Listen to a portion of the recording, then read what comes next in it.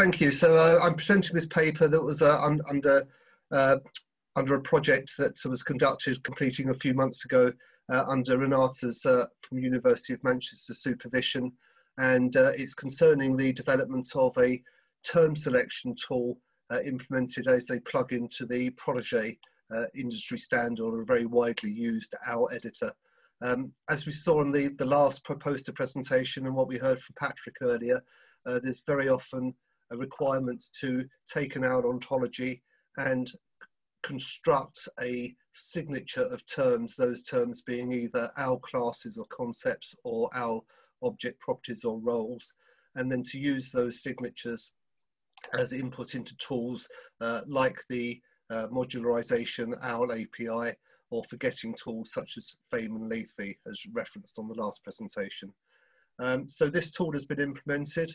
It is a plug-in to Protege, which means that all of the nice features that you get with Protege out of the box, like searching and um, the plugin reasons, etc., remain available.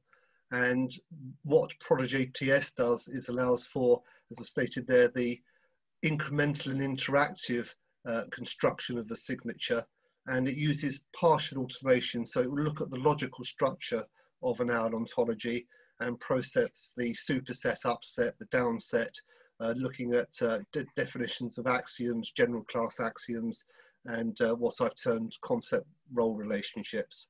Uh, so this makes the process of constructing a signature, I think, very much more uh, smooth and easier. And uh, you can also replay commands, save signatures, and interact with the other tools.